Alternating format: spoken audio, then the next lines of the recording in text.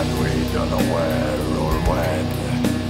Too dangerous to examine means that we will kill ourselves in.